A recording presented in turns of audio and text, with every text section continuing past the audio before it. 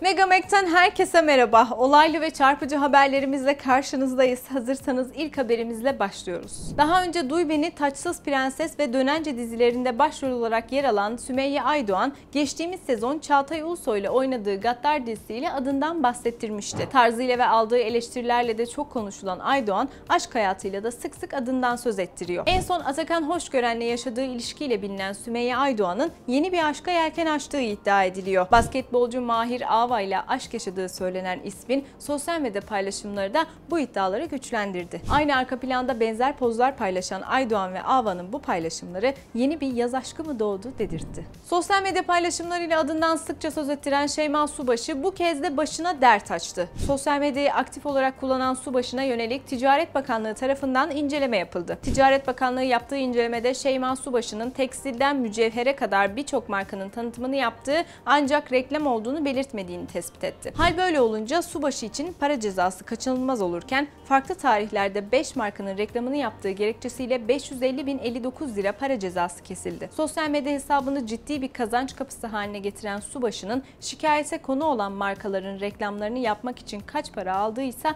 bilinmiyor. Son olarak uzun süredir birlikte olduğu Zeynep Mayruk'la hayatını birleştiren oyuncu Tolga Sarıtaş, şimdilerde yeni projesi için hazırlıklarını sürdürüyor. Uzun zamandır ekranlarda yer almayan ünlü oyuncu, TRT1'in dizisi Teşkilat'ın 5.